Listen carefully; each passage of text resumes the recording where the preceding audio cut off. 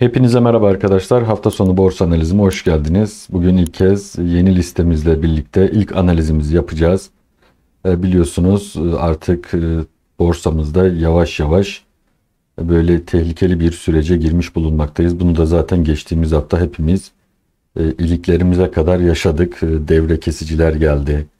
İşte dipten toparlanmalar geldi. Volatilite bir hayli yüksekti ve bu şekilde de yüksek olmaya devam edecek. Özellikle Şubat ayı bilanço dönemi sonlandıktan sonra e, daha sert hareketler görebiliriz borsamızda. E, bu yüzden de zaten e, listemizi biraz daha sadeleştirme yoluna gitmek istedim. Sizlerin de katkılarıyla oylamalar yaptınız, anketler yaptık ve Türk Hava Yolları, Ereğli ve Şişecam hisseleri tekrardan özellikle Ereğli ve Şişecam zaten listemizdeydi geçtiğimiz aylarda ve Türk Hava Yolları'nda ilk kez listemize almış bulunduk. Biliyorsunuz Sasa ve Hektaş'la zaten uzun vadeli yatırım planlıyoruz. Bu yüzden onlar kalıcı olarak her defasında da belirttiğim üzere listemizde kalmaya devam edecek. Ekstradan da bir yenilenebilir enerji şirketi, daha doğrusu bir bebek hisse e, olarak adlandırdığımız Hüner Yenilenebilir Enerji hissesi de e, portföyümüzde kalmaya devam edecek. Tabi önümüzdeki aylarda göstermiş olacağı performansla listede kalıp hani yola devam edip etmeyeceğimize sonradan karar vereceğiz. E, şimdi haftalık baktığımızda e, Cuma günü yine volatilitenin yüksek olduğu bir gündü. %0.28'lik bir yükselişle günü kapattık. Yurt dışı borsalar iyi giderken bizde ise tam tersi böyle hem volatilite çok yüksekti hem de negatif tarafta kaldığımızı gördük yurt dışı borsalardan. Bunun en büyük etkeni seçim arkadaşlar. Seçim belirsizliği ve gittikçe yaklaşıyor seçim.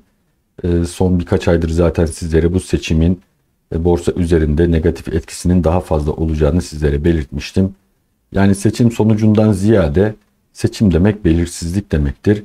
Bu yüzden böyle büyük alımlar yapan fonlarda işte kredili alım yapan e, bireysel yatırımcılarda e, bu belirsizlik ortamında böyle elini çok fazla taşın altına sokmak istemiyorlar. Yani o 2022 yılında biliyorsunuz TL bazlı biz %200 dolar bazlı %100'ün üzerinde bir kazanım elde etmiştik borsamızda. Yani 2022 yılı gibi olmayacak.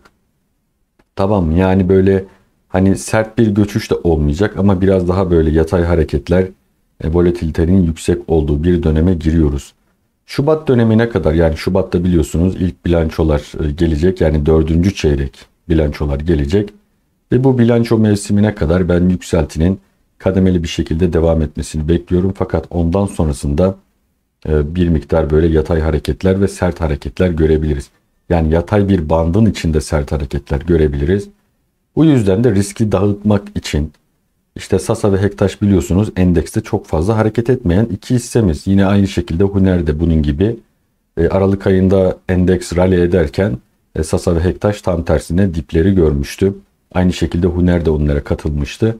Şimdi bu portföyü ve takip listemizi biraz daha dengelemek ve riski dağıtmak için böyle bir karar aldım. Daha çok endeksle hareket eden Türk Hava Yolları, Şişecam ve Ereğli listemize katılmış oldu arkadaşlar. Şimdi endeksi kontrol edeceğiz ve 6 adet hissemiz oldu. Yeni listemizde bunların tek tek teknik görünümlerini ve bir haftalık takas analizlerini sizlerle paylaşacağım arkadaşlar. İlk olarak şöyle endeksimizle başlayalım. Bakın burada da fiyat etiketlerini sizlerin daha iyi görmesi açısından biraz daha büyüttüm arkadaşlar.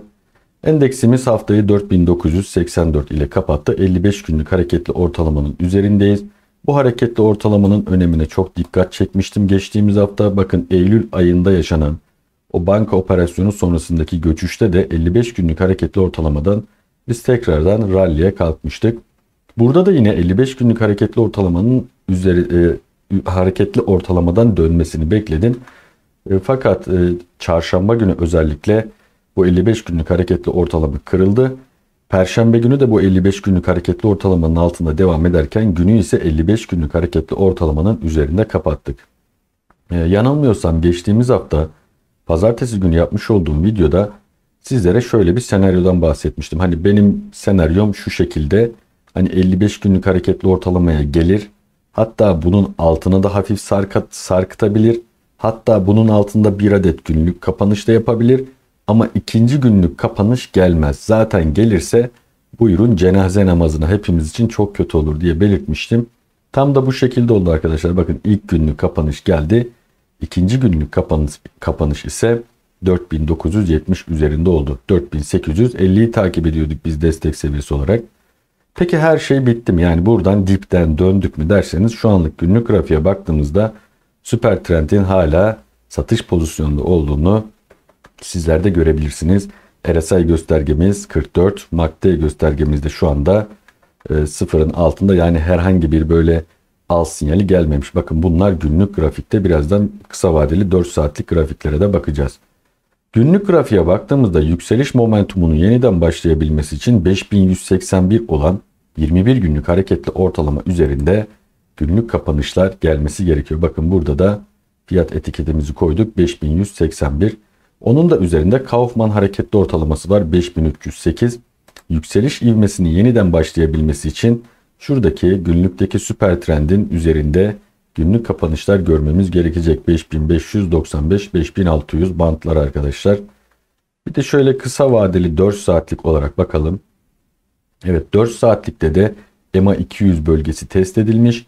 Perşembe günü de bu seviyenin altına geldi ve sonra buradan 4600 seviyesinden gelen alımlarla sert alımlarla ve yüklü alımlarla bir anda endeksin toparladığını gördük. Özellikle ve özellikle perşembe günü BOFA'nın ciddi alımları olmuştu endeks hisselerinde ve endeks yukarıya gitmişti.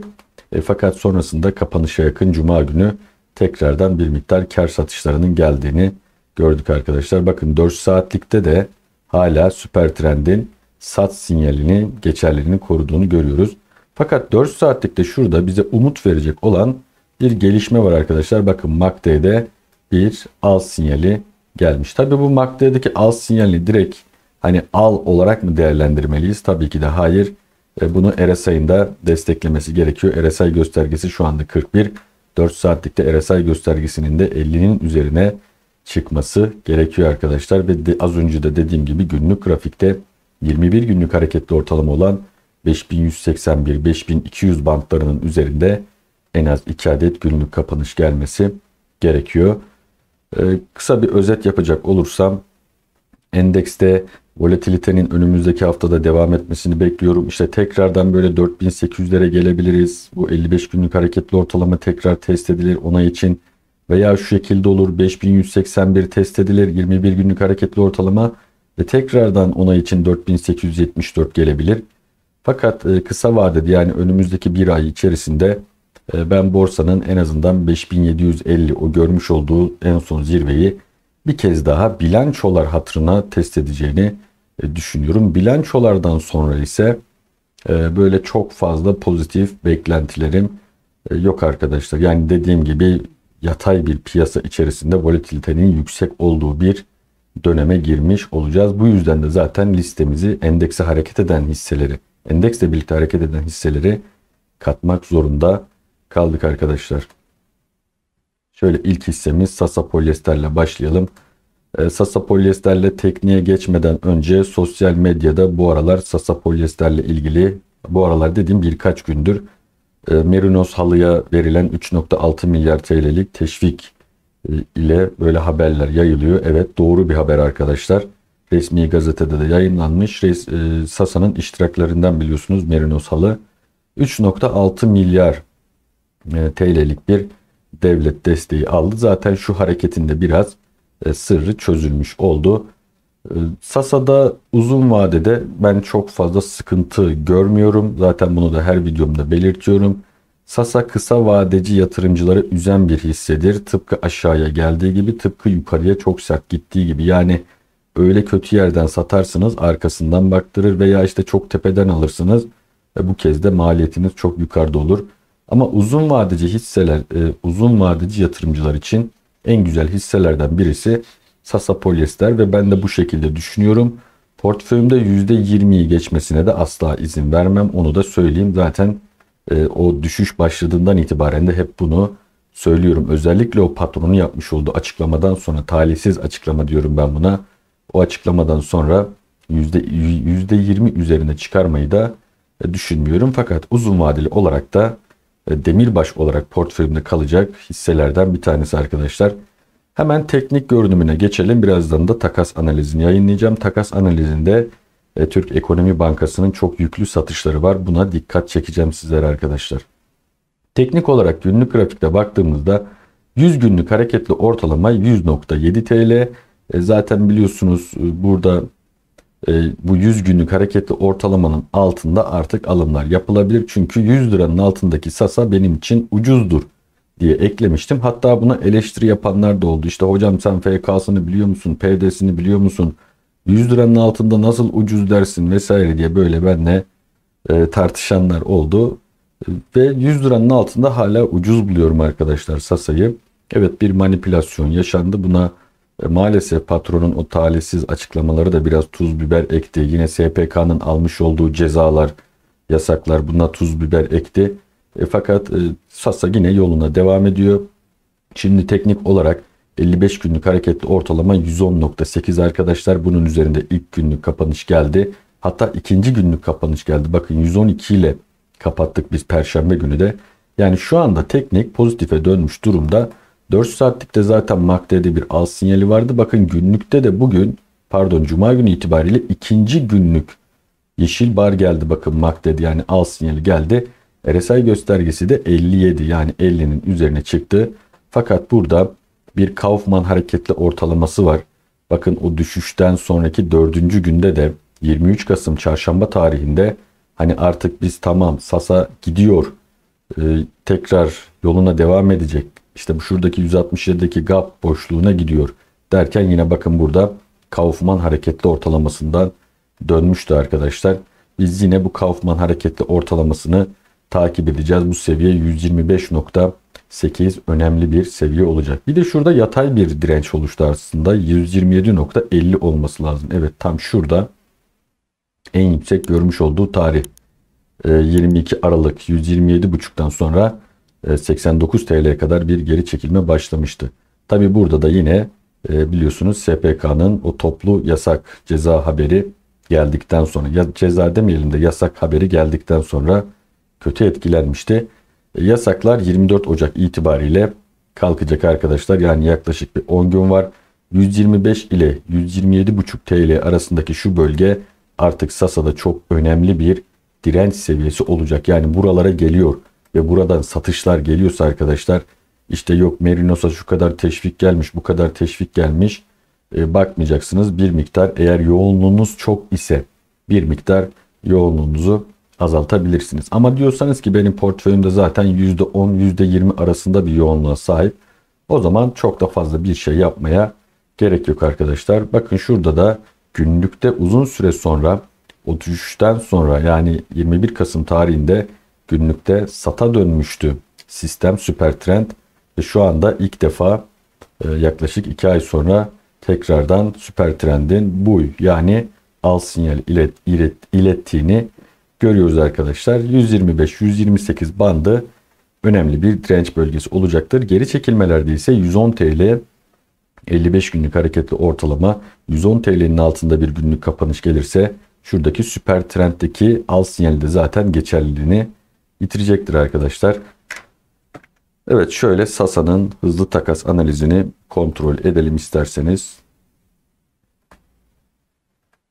Evet 9 Ocak 13 Ocak tarihler arasına baktığımızda ilk 5 alıcı %68 iken ilk 5 satıcının %93 olduğunu görüyoruz ve bu satıcılardaki en yoğun kurumun Türk Ekonomi Bankası yani TEB'in olduğunu görüyoruz. Zaten ikinci sırada da TEB Yatırım var. İkisi aynı kurum arkadaşlar. Türk Ekonomi Bankası ve onun yatırım kuruluşu TEB Yatırım. Alıcılara baktığımızda ise iş yatırım var, ak yatırım var, vakıf yatırım var. Yani burada TEB'in satmış olduğu bu lotlar bakın zaten TEB şu anda 3. sırada. Nasıl 3. sıraya geldi? Bu kadar hani yoğun bir alıcı değildi. E, biliyorsunuz Sasa'nın 200 milyon euroluk bir tahvil ihracı gerçekleşmişti ve bu paya dönüştürülebilen tahviller e, daha sonrasında borsada dolaşıma sokuldu. Bu yüzden fiili dolaşım oranı da arttı. Hani haberlerde hep görüyordunuz ya bana soruyordunuz. İşte hocam Sasa bedelli yapmış. İyi midir kötü müdür? Yani ben de hep size şunu diyordum. Yani o bedellinin bizimle bir ilgisi yok. Tahsisli bedelli sermaye artırımı olduğu için bu Türk Ekonomi Bankası üzerinden de o tahviller ihraç edildiği için bu paya dönüştürülebilir lotlar sayesinde bu kadar milyon 97 milyon lotu var. Bakın şu anda hatta son 3 aylığa baktığımızda TEB'in 48 milyon lot arttırdığını görüyoruz.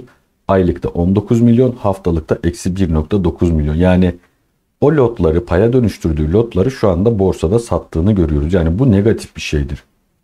Fakat şu da var.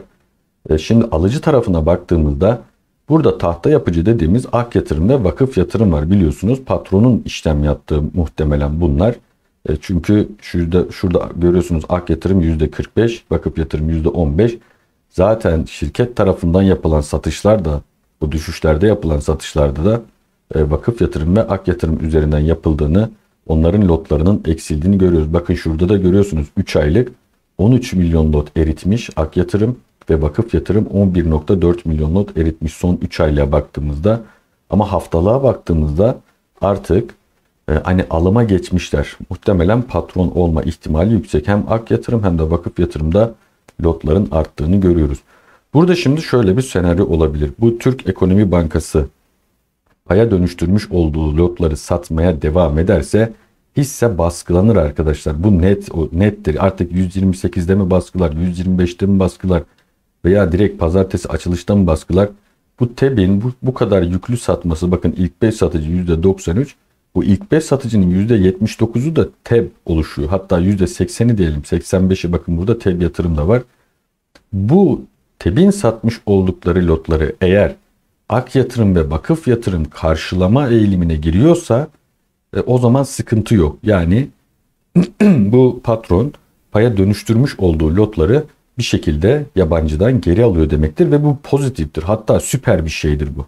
Yani burada pazartesiden itibaren önümüzdeki hafta ondan sonraki hafta e, biz burada Sasa'da özellikle günlük aracı kurum dağılımlarında ak yatırım ve vakıf yatırımın alıp almadığına bakacağız. Yine takas analizlerinde ak yatırım ve vakıf yatırımın hafta sonu analizlerimizde lotunun artıp artmadığına bakacağız. Eğer ak yatırım ve vakıf yatırımın lotları artıyorsa tamam patron paya dönüştürmüş olduğu ve yabancıya vermiş olduğu bu hisseleri geri topluyor diyeceğiz.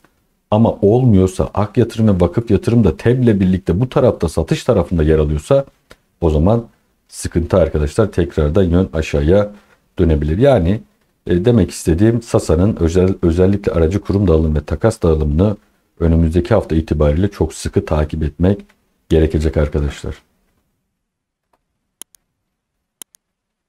Evet geldik Hektaş'a. Hektaş'ta da böyle rakamlarımızı yazdık arkadaşlar. Sizler için biraz daha böyle büyük rakamlar yazdım.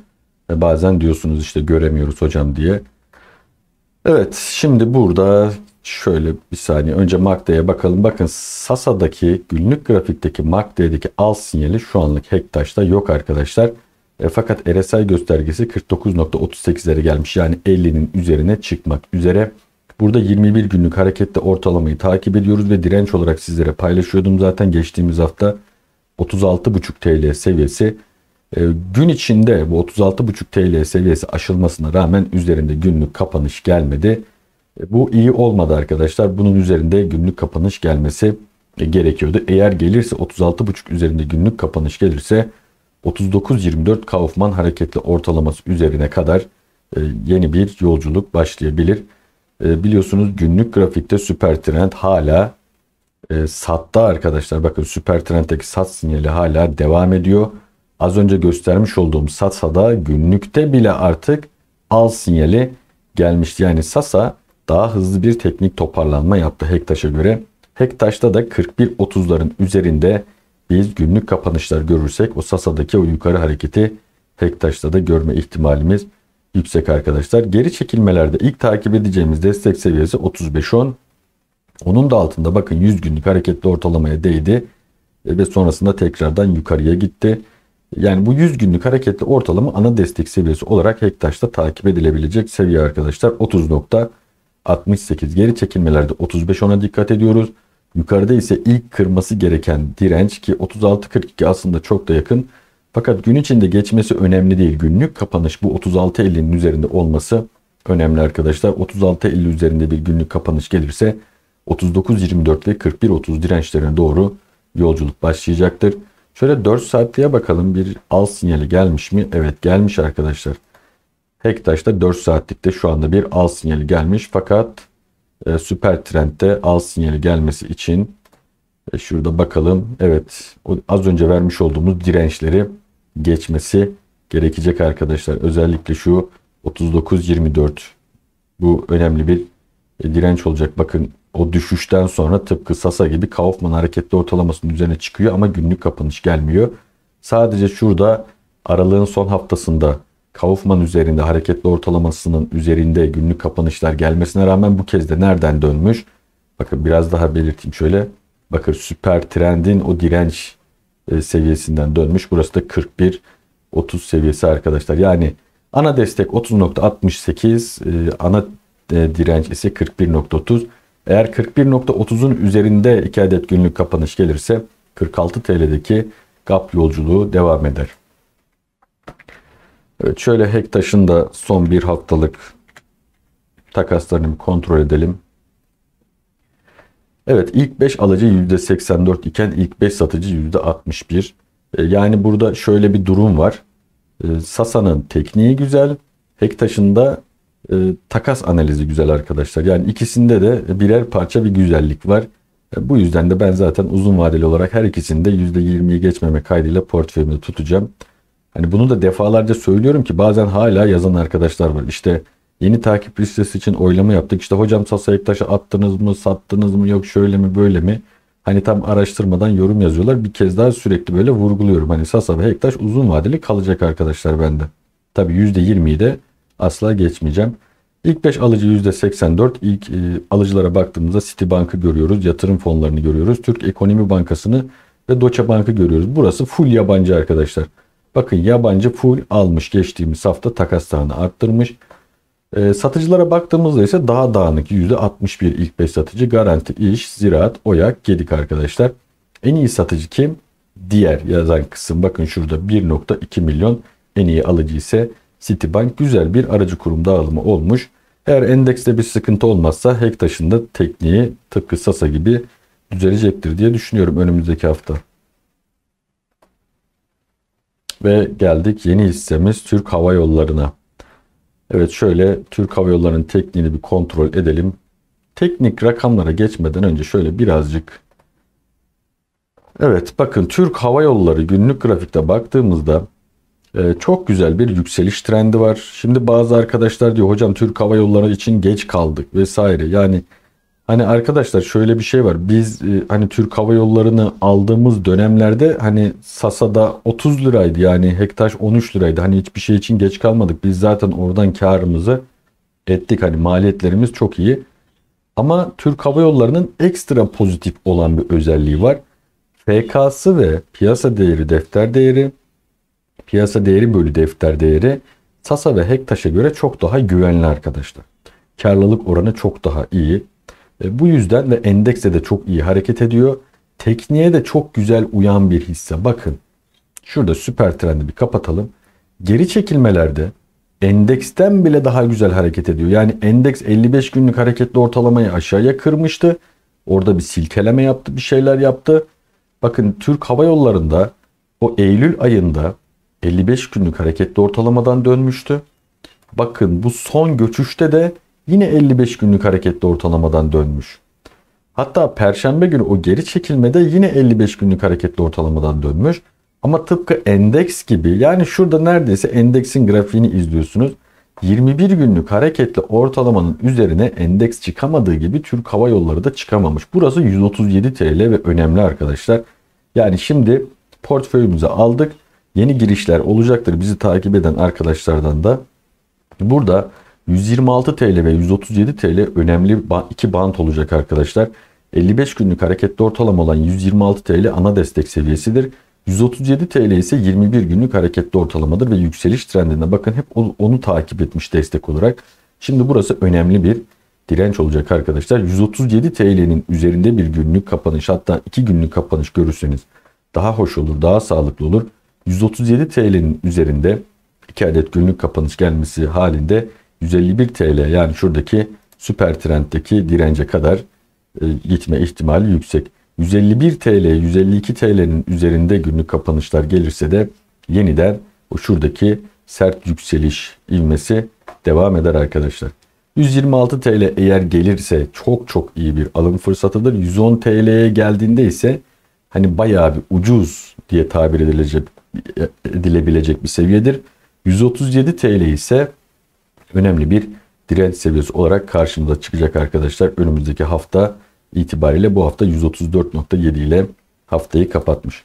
Hemen Türk Hava Yolları'nın da bakalım arkadaşlar. Ee, şöyle aracı kurum dağılımına takaslarına daha doğrusu bir haftalık takaslarına baktığımızda ilk 5 alıcının %84, ilk 5 satıcının %88 olduğunu ve çok dengeli bir takas dağılımı olduğunu görüyoruz arkadaşlar. Alıcılara baktığımızda yapı krediyi görüyoruz, emeklilik yatırım fonlarını görüyoruz, Doça Bank'ı görüyoruz. Azalanlara baktığımızda ak yatırımı görüyoruz. Toplam fark bu paya dönüştürülebilen lotlar arkadaşlar. Citibank yine satıcı tarafında yatırım fonları. E şimdi burada tahta yapıcı diye tabir ettiğimiz kim var? Citibank var.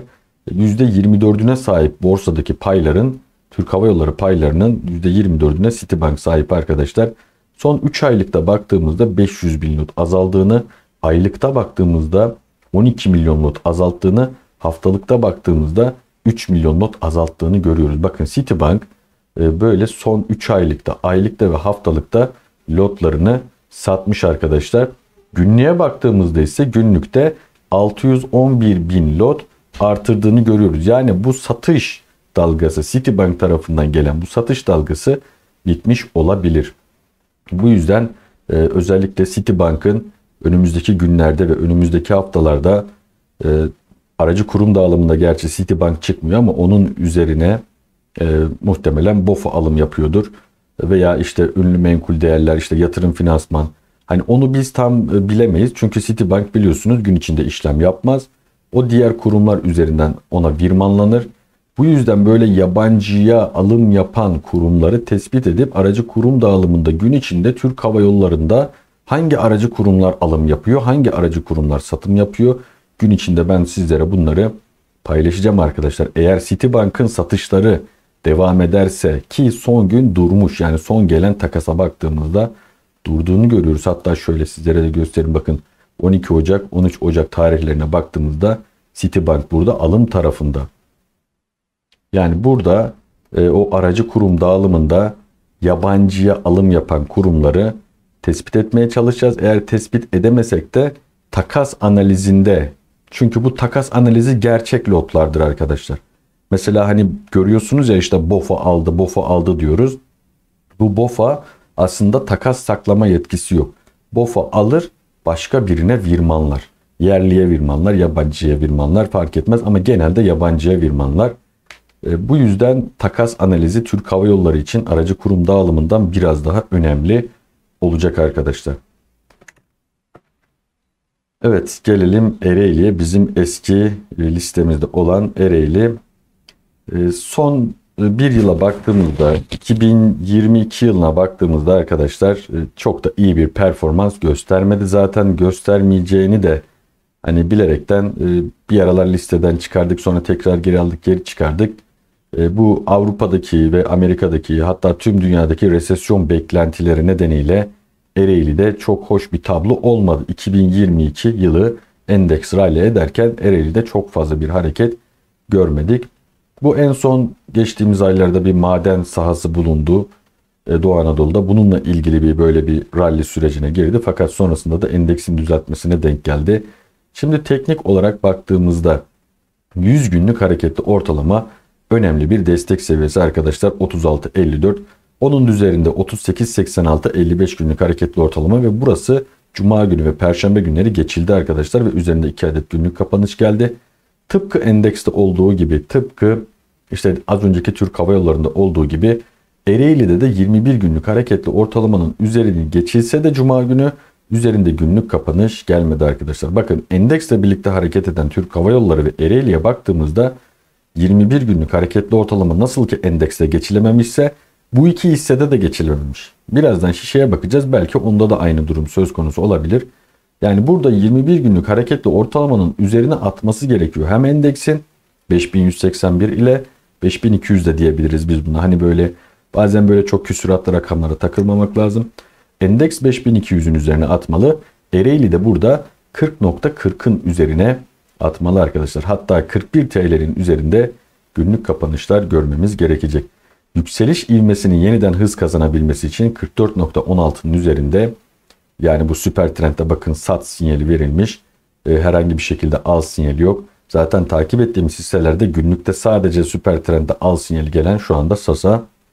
Bu 44 TL'nin üzerinde günlük kapanışlar görmemiz gerekecek arkadaşlar. Zaten 44 TL burada yaklaşık 2 aydır kıramadığı direnç olmuş. Geri çekilmelerde 55 günlük hareketli ortalama olan 38.86'lar önemli bir destek seviyesi olacak arkadaşlar.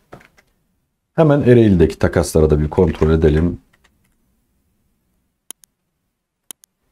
Evet Ereğli'nin takasları çok da hoş değil. Haftalık takaslarına baktığımızda ilk 5 alıcı %56 aşırı dağınık. ilk 5 satıcı ise %85 arkadaşlar. En iyi satıcı Citibank 16,5 milyon lot. En iyi alıcı 13,5 milyon lot ile diğer.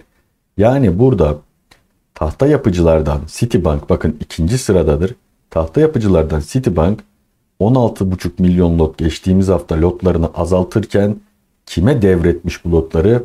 Diğer yazan kurum arkadaşlar. Çok da iyi bir e, takas görüntüsü olmamış bu.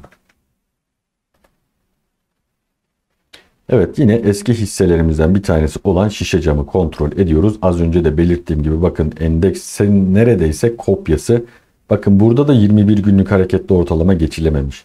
55 günlük hareketli ortalama 38.58 destek seviyesi. Tıpkı endekste olduğu gibi onun altında bir günlük kapanış gelmiş. Perşembe günü de 55 günlük hareketli ortalamanın altına sarkmış. 37 TL'ler görülmüş. Ve sonrasında endeksle birlikte o da yukarıya gitmiş. Ama 21 günlük hareketli ortalamanın üzerine de çıkılamamış. 41.18'in üzerinde en az 2 adet günlük kapanış gelmesi gerekiyor arkadaşlar.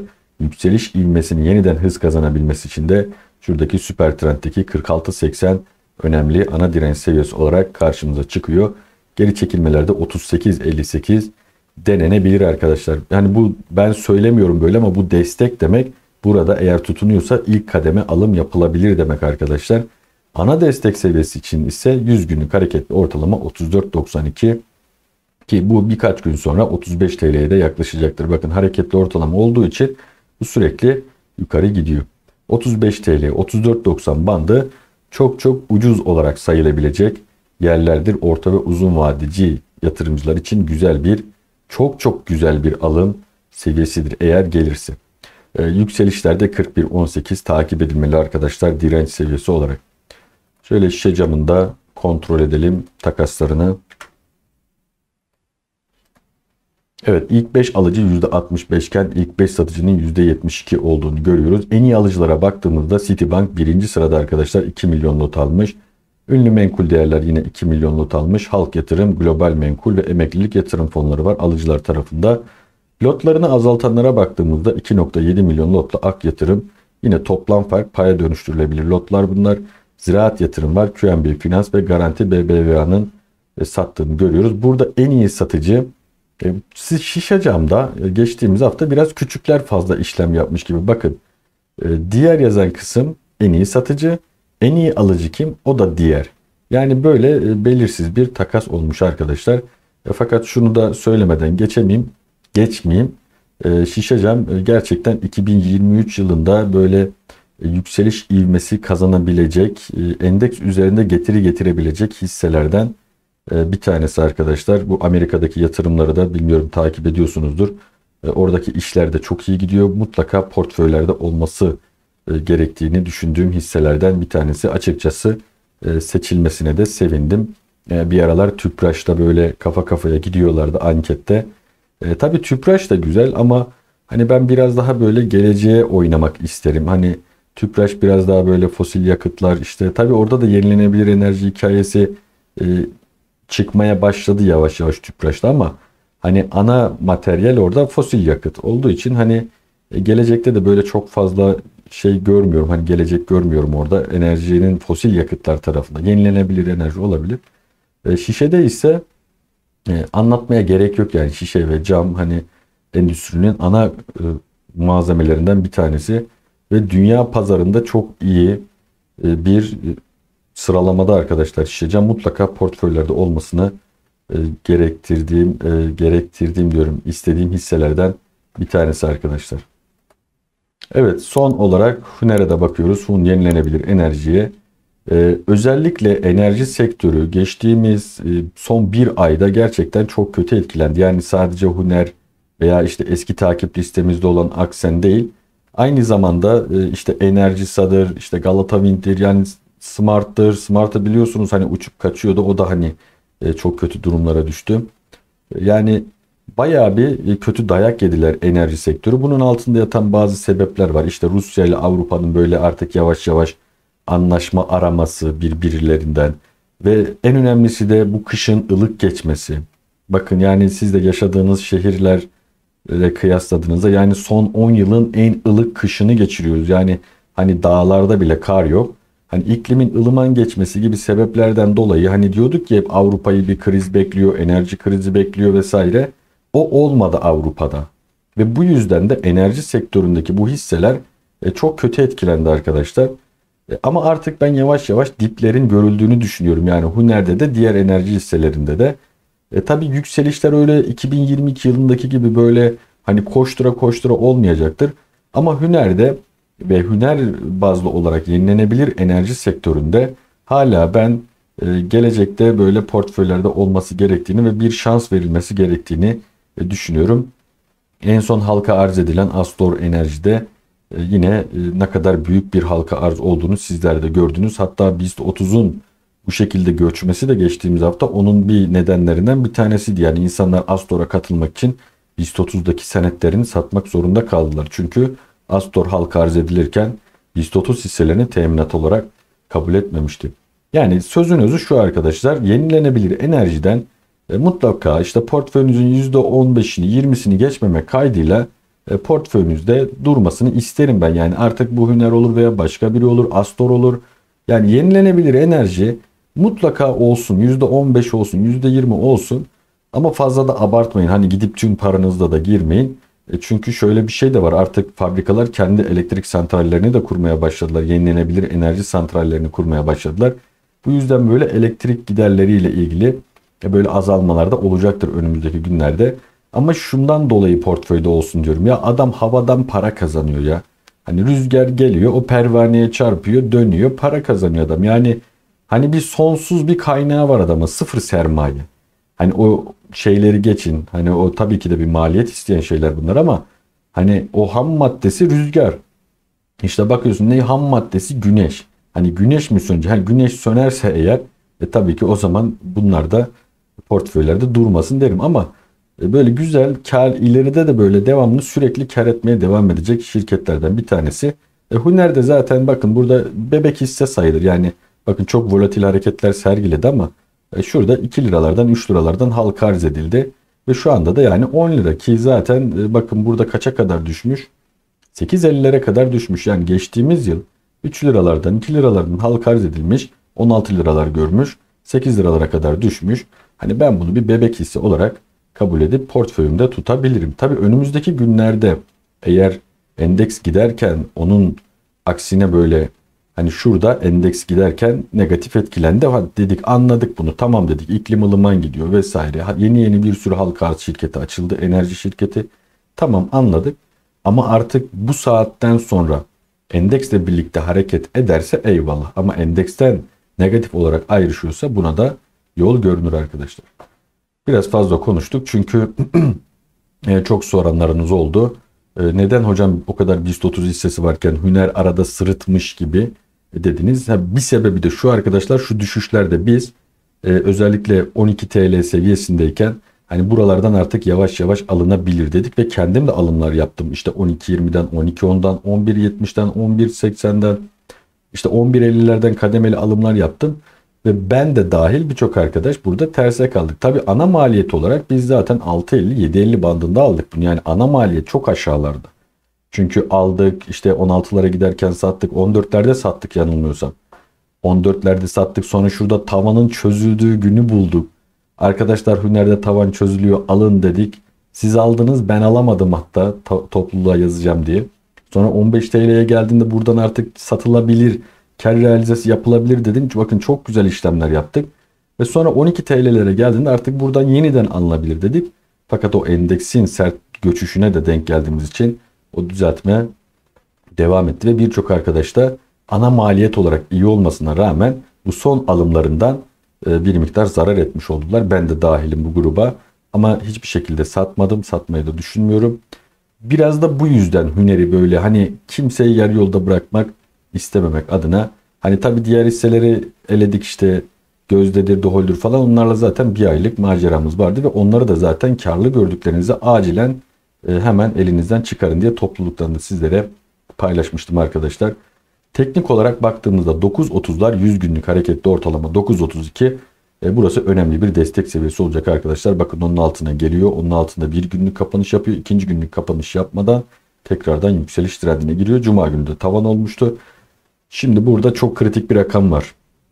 Neresi bu? 55 günlük hareketli ortalama. Daha önce de bak burayı test ettik. O düşüş trendindeyken yükseliş yaptığımızda pazartesi günü burayı geçemedik ve bir dayak daha yedik. Endeks etkisiyle birlikte bir de düşmüştük. Şimdi 10.80 arkadaşlar. Hatta 10.79. Bu 10.79'un üzerinde 2 adet günlük kapanış gelmeli. Yarın 10.79, 10.80 bandı ve ondan sonraki günler çok çok önemli olacak. Geri çekilmelerde ise 9.32 ana destek seviyesi günlükteki sat sinyali hala devam ediyor. 4 saatliğe bakalım bir toparlanma var mı süper trendde? Hayır arkadaşlar. E, fakat yarın e, şöyle bir bakayım süper trend 10.33'ün üzerine çıkarsa 4 saatlikte bir al sinyali gelecek. 10.33'ün yani bir 3 kuruş daha e, yukarıda kapatabilseydi ki kapatamaz çünkü tavan olmuştu. E, süper trend ala dönecek arkadaşlar. 10.80 önemli ve e, kritik bir eşik olacak. Eğer 11.50'lerin üzerinde bir günlük kapanış geliyorsa da süper trend günlükte ala dönecek. 12-13 TL'ler hatta bakın şöyle 13.60'lar ee, 13.50'lere doğru bir 13.67'ye doğru bir yükseliş beklentim var. Eğer buraya kadar gelirse e, burada yoğunluklarımı da azaltmayı düşünüyorum ama %20'yi geçmeme kaydıyla e, portföyümü biraz daha e, portföyümde biraz daha tutacağım. Buradan da e, Hüner'de şu anda %20'nin üzerinde olduğum iması çıktı arkadaşlar. Kendi kendimi de ele vermiş oldum. E dediğim gibi şu 13.60 13.50 rakamını bekleyeceğim. Buraya geldiğinde %20'nin altına indirmeyi düşünüyorum ve portföyümde de şimdilik e, tutmayı düşünüyorum arkadaşlar. E, videonun başında da belirttiğim gibi artık daha sancılı bir sürece giriyoruz borsa olarak. 2022 yılını unutun. Orada biz e, hem dolar bazlı hem TL bazlı çok zirveler gördük.